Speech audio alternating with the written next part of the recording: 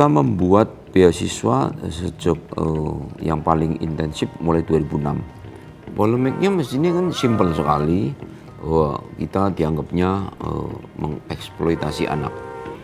Ya, Jarum kan melalui CSR Jarum Foundation uh, tidak pernah menampilkan produk rokok sama sekali. Jadi ada beberapa orang-orang uh, uh, yang tidak kompeten di dalam urusan bulu tangkis itu menuntut kami mengganti nama. Kita tidak mau.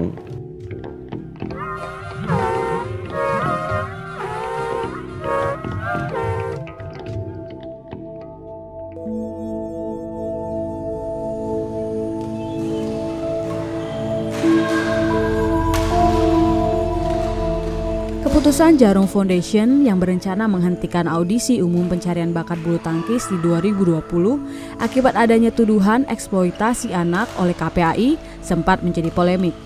Jarum Foundation dituding KPAI menjadikan audisi beasiswa PB Jarum sebagai ajang promosi produk tembakau dengan memamerkan logo selama proses audisi. Belakangan, polemik ini berakhir setelah KPAI dan Jarum Foundation duduk bersama. Hasilnya, audisi tetap berlanjut dengan syarat adanya beberapa perubahan, salah satunya nama audisi. Untuk mengetahui lebih jauh mengenai hasil kesepakatan dari polemik ini dan sejauh apa perubahan yang akan terjadi pada audisi umum bulu tangkis PB Jarum di tahun mendatang, kami berangkat menuju kota Kudus dan mendatangi langsung klub bulu tangkis yang telah mencetak legenda-legenda bulu tangkis Indonesia ini. Kita membuat beasiswa sejak uh, yang paling intensif mulai 2006 di mana pada saat itu Kevin itu gagal mendapatkan beasiswa karena gagal terus dia berlatih keras lagi. Kevin Sanjaya itu gagal di 2006 di 2007 dia berhasil masuk. Siapa yang siapa yang uh, berhak? Semua orang berhak dari mana pun sepanjang dia warga negara Indonesia. Kalau warga negara asing tidak boleh tidak boleh uh, dapat beasiswa. Uh, terus setelah itu uh, siapa saja dari mana saja tergantung kualitas bulu tangkisnya, tekniknya gimana, uh, apa karakternya gimana, postur tubuhnya gimana. Umur mulai dari uh, 9, 10, 10 lah. 10 tahun sampai uh, paling uh, uh, tinggi itu 14 atau di bawah 15 tahun. Bagaimana dengan kalau misalkan umurnya dia udah, udah 17, udah 19, udah uh, di atas 19, bisa bisa tergantung prestasinya. Kalau prestasinya itu mumpuni, potensinya itu masih panjang, kita akan uh, welcome. Uh, beasiswanya kita itu mulai dari uh, apa asrama uh, tidur uh, dengan uh, kondisi yang bagus, kemudian uh, dapat peralatan dari mulai kaos, uh, celana, raket, sepatu, jaket, tas raket, kemudian uh, yang paling mahal itu pengiriman ke luar negeri.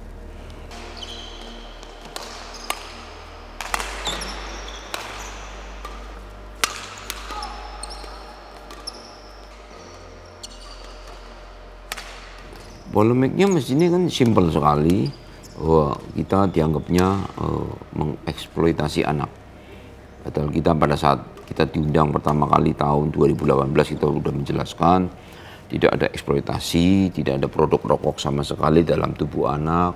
Anak hanya dipakai di, diberi pakaian atau kaos free untuk dipakai. Kaosnya uh, bertitelnya uh, Jarum Badminton Club Eh, dan itu dianggapnya adalah uh, promosi yang terselubung. Padahal itu adalah uh, klub bulu tangkis.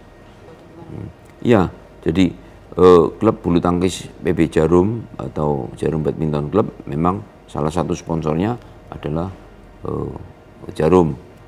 Tapi dalam prakteknya tidak pernah memakai brand rokok apa pun. Kemudian sekarang kita ambil contoh aja, kalau misalkan eh, Jarum Badminton Club disponsori oleh produk-produk lain, misalkan banking atau eh, real estate atau perusahaan tambang, apakah uh, Jarum Badminton Club itu uh, termasuk produk rokok? Kan tidak tentunya. Itu yang kami selalu uh, argumentasikan kepada pihak-pihak uh, yang uh, menganggap kami itu uh, adalah kepanjangan tangan dari produk tembakau. Ya, Jarum kan melalui CSR Jarum Foundation tidak pernah menampilkan produk rokok sama sekali. Ya hanya menampilkan logo Jarum Foundation, logo klub sebagai identitas klub bulu tangkis itu aja. Tidak ada uh, oh, embel-embel terus ada promosi rokok nggak ada. CSR kan untuk sosial kegiatan sosial, tidak ada uh, untuk embel-embel apa. Nah, yang yang tadi saya soroti adalah kalau misalkan nih suatu saat nanti PB Jarum atau Jarum Badminton Club mendapat sponsor dari uh, non rokok, apakah Jarum Badminton Club masih dianggap produk tembakau? Kan enggak kan? Jadi produk PB Jarum itu akan uh, uh, akan entitas yang yang akan bertahan terus, kita akan uh, bina terus agar menjadi uh, punya reputasi yang yang sangat bagus gitu. Kita uh, juga menggandeng sponsor lain seperti Lining dan Cleo. Kita dan akan banyak lagi kalau misalkan mau masuk menjadi bagian dari dari kita untuk menyponsori PB Jarum ya kita welcome. Jadi ada beberapa orang-orang uh, uh, yang tidak kompeten di dalam urusan bulu tangkis itu uh, menuntut kami uh, mengganti nama. Kita tidak mau. PB Jarum adalah uh, roh roh kami, identitas kami, kebanggaan kami kalau disuruh ganti nama kita tetap sampai kapan pun tidak akan mau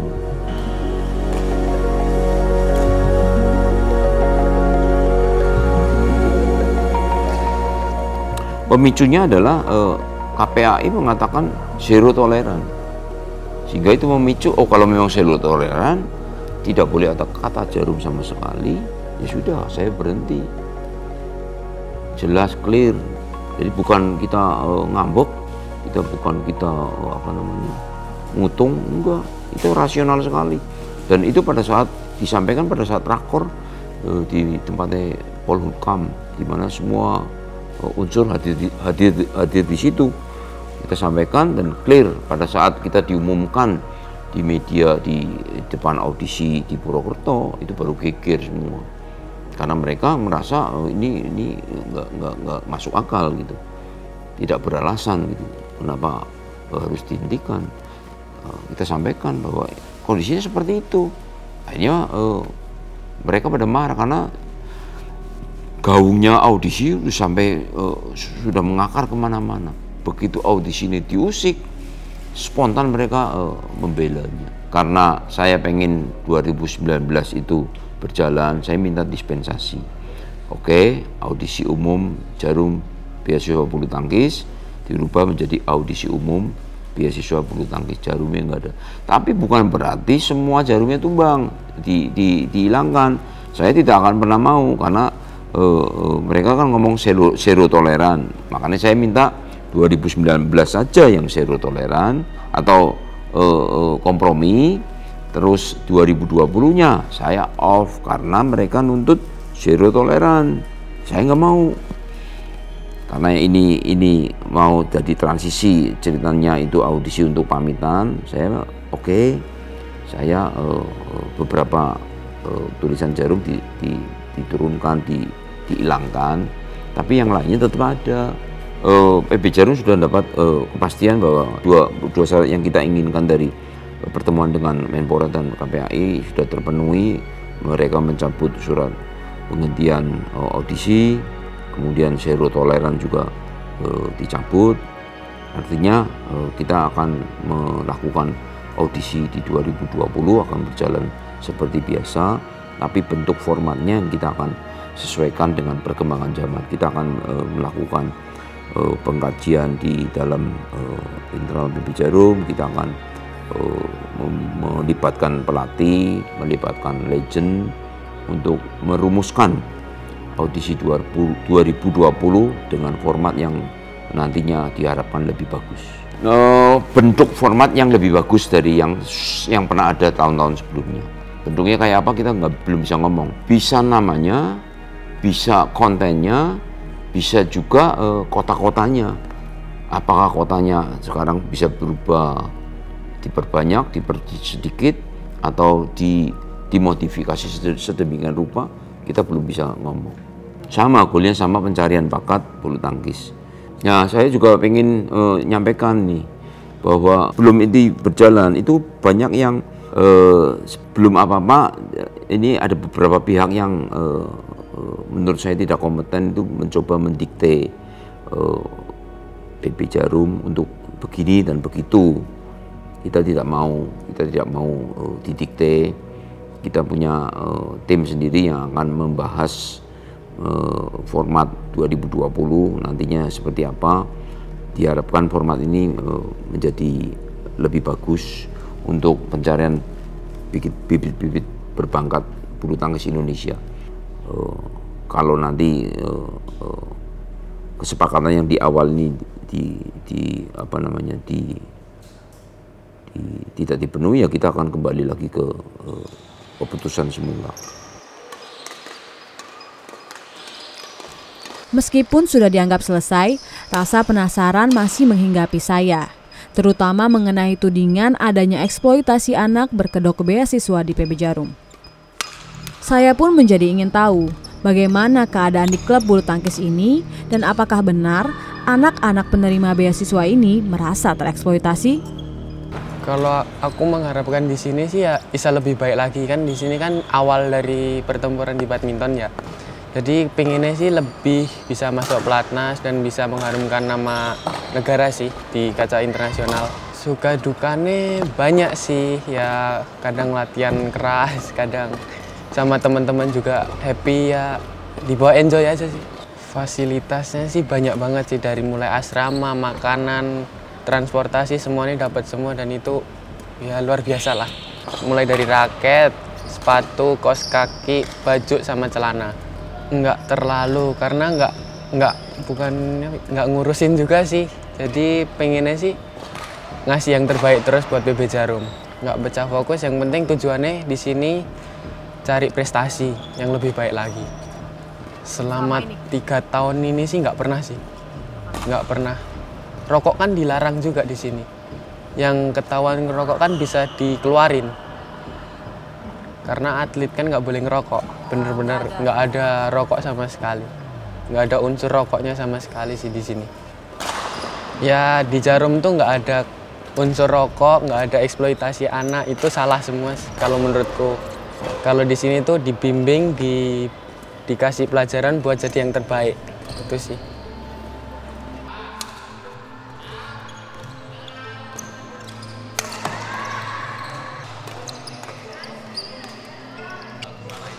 Ya di PB Jarum mau lebih cepat masuk pelatnas sih sebenarnya. Terus biar bisa juara biar ikut pertandingan luar bisa juara olimpiade juara dunia gitu di sini yang senang teman-temannya banyak, fasilitasnya lengkap. Terus cara pelatih ngelatih kita juga profesional. Terus semakin prestasinya semakin meningkat terus, bisa dikenal orang banyak kalau dari sini dari PB Jarum.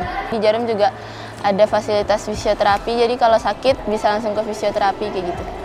Ya kalau di pertandingan kayak misalkan menang gitu ya diucapin selamat ya menang, nggak boleh cepet puas latihan lagi, masih ada target buat ke depannya lebih baik.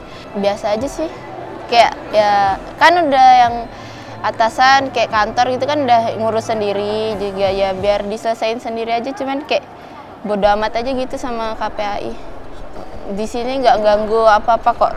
Semuanya masih lancar kayak biasa aja nggak ada sih di sini sama sekali kayak nggak diajarin buat promosi rokok kayak buat ngerokok kayak gitu nggak boleh sama sekali di sini.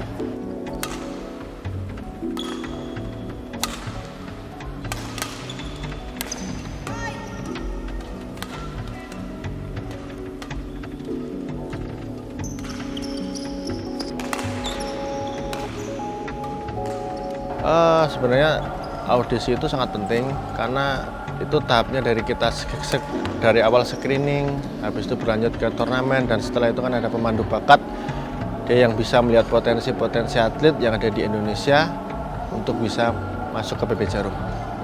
Uh, untuk masalah eksploitasi, selama saya ada di PP Jarum, saya lihat eksploitasi yang di sini adalah eksploitasi positif. Dalam arti kita seorang atlet memang harus dituntut kerja keras, latihan keras di lapangan untuk menjadi seorang juara. Nah itu sih karakter dari atlet memang harus seperti itu. Uh, untuk anak-anak mungkin tidak berpengaruh sih mas. Cuman kalau buat masa depan anak Indonesia itu sangat berpengaruh karena audisi PB Jarum ya salah satu audisi yang kita bilang kita jemput bola ke kota mana, kota mana, kota mana. Ya karena dari situ kita bisa tahu potensi masing-masing tiap kota oh seperti ini seperti ini ya dari situ kita bisa mengambil bibit-bibit baru Indonesia. Sikap kompromi yang dilakukan KPAI dan Jarum Foundation layak mendapatkan apresiasi. Faktanya, beasiswa dan fasilitas yang diberikan oleh Jarum Foundation bagi pembinaan atlet bulu tangkis Indonesia sudah menorehkan tinta emas. Siapa yang tidak kenal atlet bulu tangkis kelas dunia seperti Lim Swee King, Alan Budi Kusuma, Maria Christine, Liliana Natsir, Tontowi Ahmad, Kevin Sanjaya, dan Muhammad Ahsan. Di tempat inilah mereka semua sempat digembleng menjadi atlet yang mengharumkan nama Indonesia. Saya berharap Sedikit modifikasi audisi Jarum ini akan membawa angin positif bagi dunia bulu tangkis Indonesia. Garuda Muda Indonesia butuh kawah Chandra di muka untuk mengasah kemampuannya menjadi pemain kaliber dunia.